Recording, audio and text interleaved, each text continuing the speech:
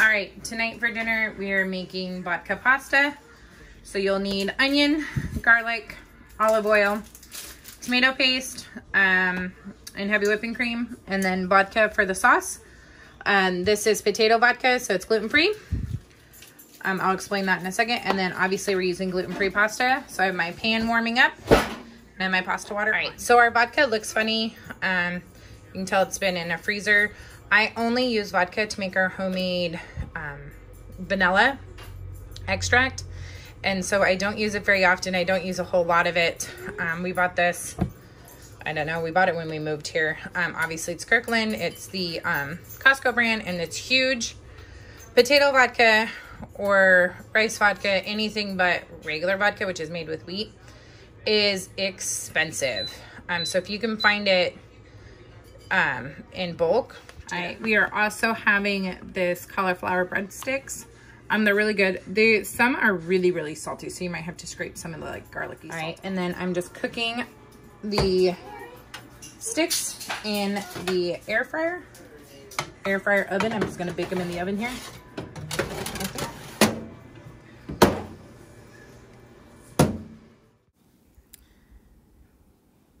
In my skillet over medium high heat, I am going to saute one onion to our liking. We like it a little bit more of a bite to it. If you don't like it, that way you can cook it all the way translucent. It's however you like. It does look like a lot of onions, but it doesn't turn into that much.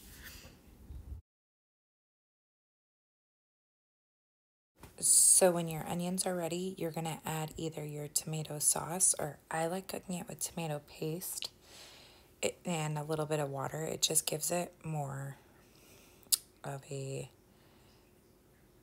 like, I want to say natural tomato flavor, but that sounds off. I just like the flavor better with the tomato paste than with the tomato sauce.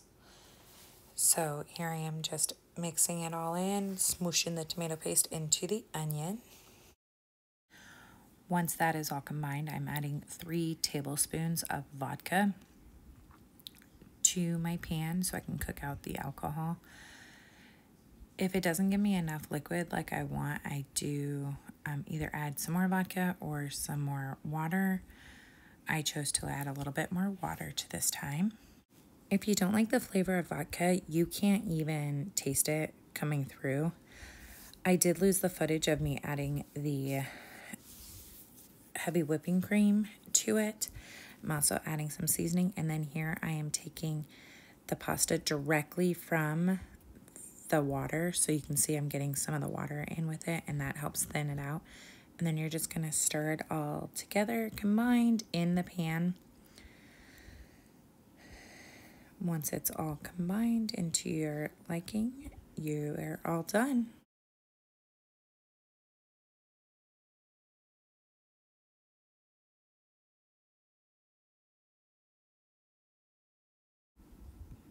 Once it's all combined, I just add a little bit of parsley on top. All right, so here, here's what my plate looks like. I have some pasta, cheese on top, and then a side salad with romaine, cucumbers, sunflower seeds, Colby Jack, and ranch. And then I get a lot of questions on what Harry eats because he's extremely picky. I give him everything we're having. I know he won't eat lettuce, but he likes sunflower seeds and he likes cucumbers.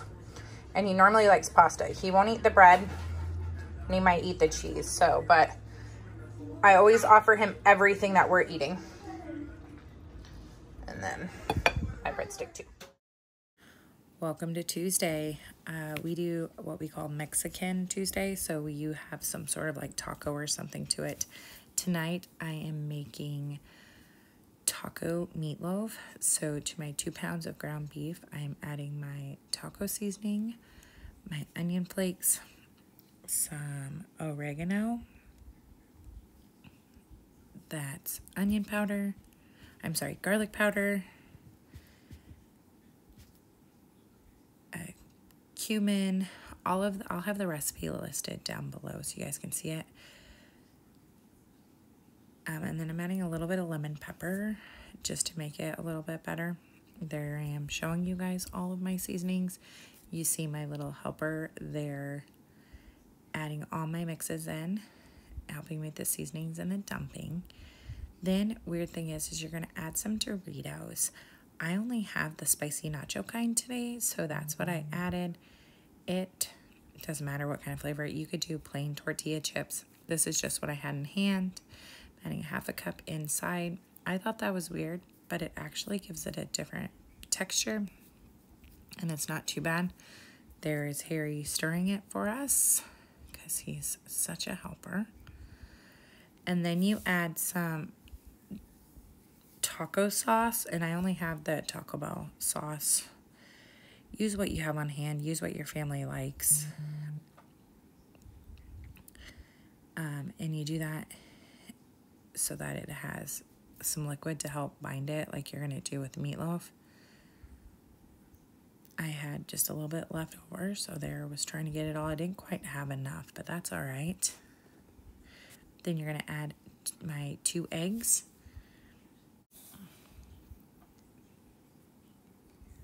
Next, you guys will know, if y'all have been around, I do not like to touch raw meat at all. I don't even like the sight of raw meat.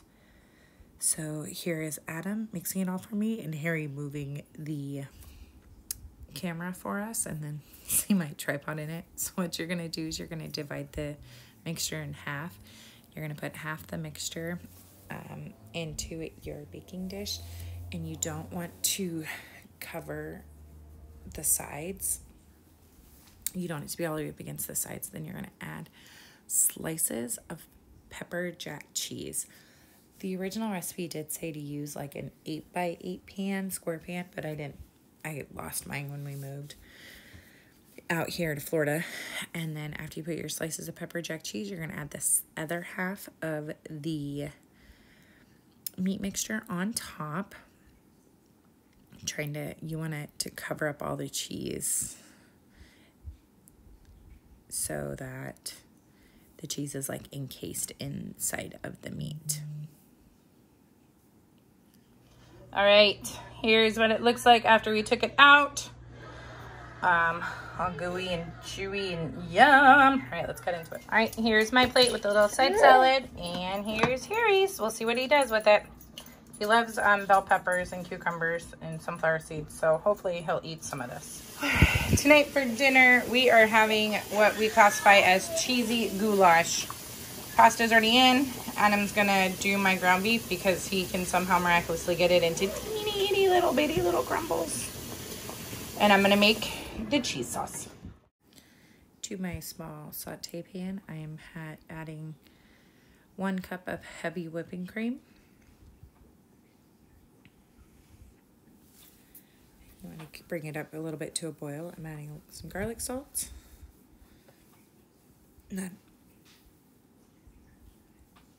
Some onion powder.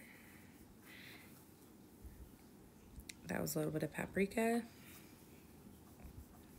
And then I'm adding uh, Velveeta cheese cubes already cubed up. And you want to stir it constantly so it doesn't stick to the bottom of your pan. It will come together quickly. And then here I'm adding I'm measuring it for you guys. My shredded cheddar cheese, I just went ahead and used the half a cup that I used to put in the heavy whipping cream. No sense in dirtying another measuring cup.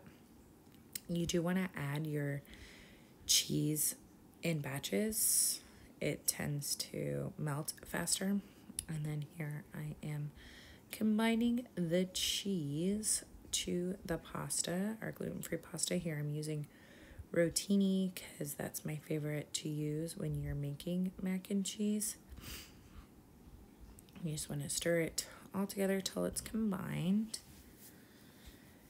Then here my meat is all ground and I added a can of corn and I'm just going to combine it with mac and cheese. It is so good. We refer to it as cheesy goulash or it could be homemade hamburger helper. All right.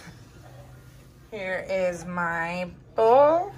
It's not the healthiest, but man, is it delicious. You can also make it with just box, box mac and cheese. I've done that numerous times. Here's Harry's.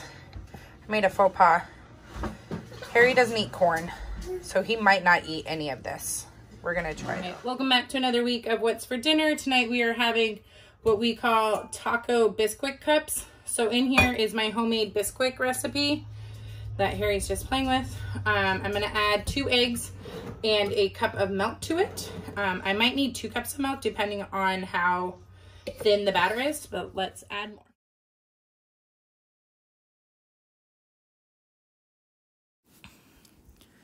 So here I just added my milk and I'm adding some eggs. Harry is stirring it for me. He keeps trying to grab the egg with his fingers.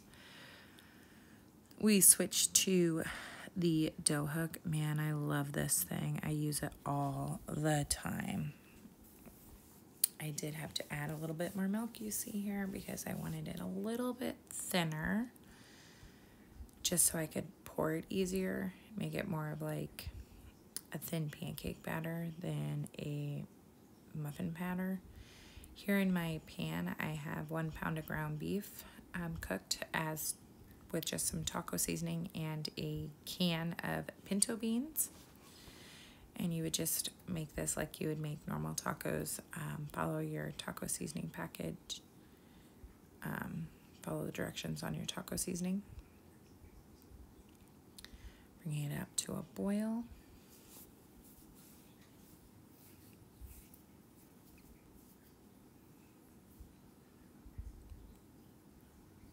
While my meat is simmering on the stove, I'm going to um, line up my liners and add, once the meat mixture is done, I'm going to add a tablespoon of the mixture to each of the muffin cups.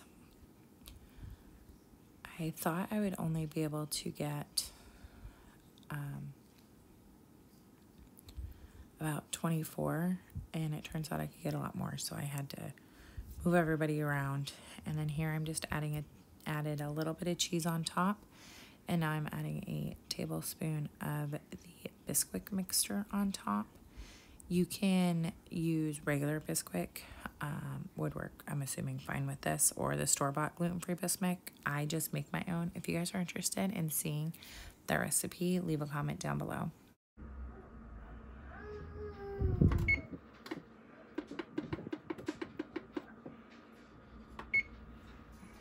All right, here is what it looks like right out of the oven. You can see they're golden brown. And then let me pull one out. All right.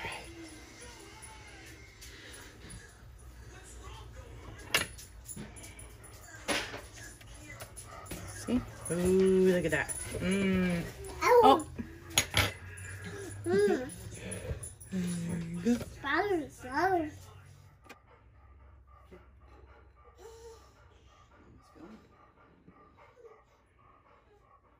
Tonight for dinner, we are having spaghetti with meatballs. In here, I have two pounds of ground beef and two eggs. I just use ground beef because I don't eat any other meat besides ground beef. Harry is stirring behind me. Then we're going to add teaspoons.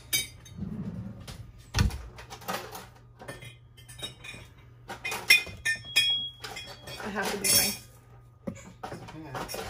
A half is fine. Thank you. Um, we're gonna add a half a teaspoon of pepper. This is a new recipe that we found that uses potato flakes, like mashed potatoes, instant potatoes. Um, a half a cup.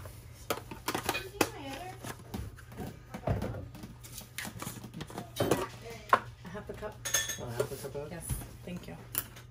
there's 20 in this thing. Oh, really?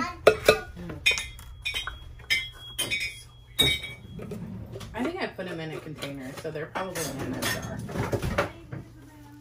Um, the recipe doesn't call for it, but I'm putting onion powder because we like onions.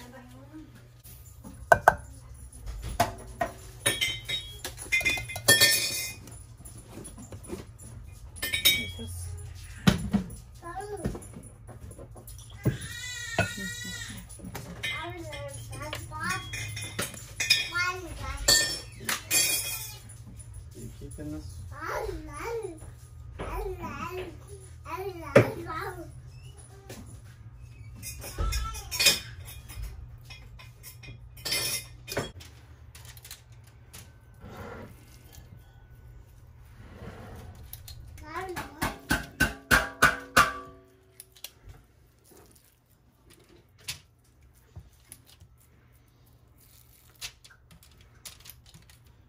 All right, there they are in all their glory. We're gonna back up. It's open. I'm gonna put them in the oven for 30 minutes. We are just making a salad with romaine, English cucumber, and cheese. All right, so here's what they look like out of the oven, nice and good. And then I'm just taking them and plopping them in my pasta with tomato sauce. Um, we just use a jar tomato sauce because I have a lot of them on hand. All right, here's my plate, spaghetti, meatballs, salad. I have to put dressing on. I have two breadsticks.